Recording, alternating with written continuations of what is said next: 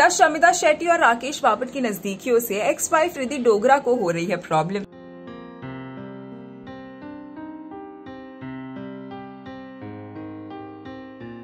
क्या रिद्धि को हो रही है? राकेश और शमिता से जलन?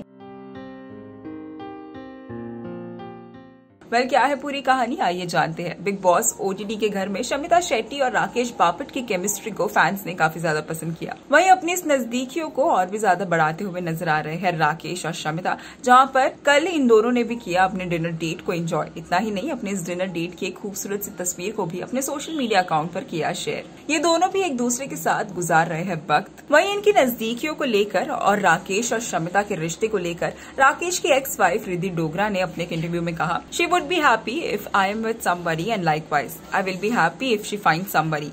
But at the end of it, we are two individuals. It's water under the bridge now. We are two matured people and whatever decisions we have made so far were our own. We dealt with it maturely and we came out of it with flying colors. There is no bad blood at all. There is too much of respect still. And I will be happiest if she finds love in her life back and she is happy and the going is great for her. I will be elated if something like this happens. Like she is too so या वहीं अपने एक interview में राकेश बापट ने ये बताया कि रिद्धि को बिग बॉस ओटीटी के घर के अंदर राकेश की जर्नी कैसी लगी?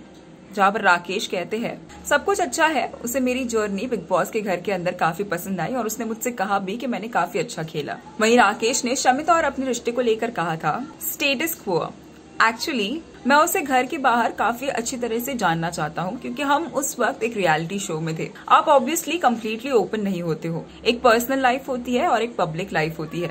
मैं उसकी पर्सनल लाइफ को एक्सप्लोर करना चाहता हूँ। मैं उसे और भी अच्छी तरह से जानना चाहता हूँ। उसे रियलिटी शो पर जानना काफ़ी अलग है। और पर्सनली वो आउटसाइड वर्ल्ड में कैसी है, उसे जानना काफ़ी डिफरेंट है। इस रिश्ते को किसी भी तरह का नाम देने से पहले हम एक दूसरे को काफ़ी अच्छी तरह से जानना चाहते हैं। मैं किसी भी चीज़ में जल्दबाजी नहीं करना चाहता और मैं काफ़ी श्योर हूँ कि वो भी ये नहीं चाहती। हम एक दूसरे के फीलिंग्स को चीट नहीं कर सकते हैं स्पेशली एक रियलिटी शो में, क्योंकि आप वहाँ पर हर वक्त टेस्ट किए जाते हो। शमिता और मैं एक दूसरे को जेनवनली पसंद करते हैं। उस घर में जहाँ पर हर बार आपको एक सिचुएशन में खड़ा कर दिया जाता है, आपको वहाँ पर किसी न किसी की सपोर्ट की ज़रूरत होती है। वो एक जेनवन फीलिंग थी, जो भी कुछ दिखाया गया। मैं एक ऐसा इंसान हूँ जिसे हग्स और किसेस करना पसंद है और जिसे कडल करना भी पसंद है। मेरी फीलिंग्स उसके साइड के लिए काफ़ी जेन्युइन थी। वो मेरे लिए एक कंफर्ट जोन था और वो सब कुछ बनावट नहीं था। मैं जानता हूँ कि बहुत से लोगों को लगता है हमारा रिश्ता जेन्युइन है। कुछ ऐसी भी ऑडियंसेस है जो फील करती है कि ये सब कुछ फेक है। लेकिन कोई बात नहीं।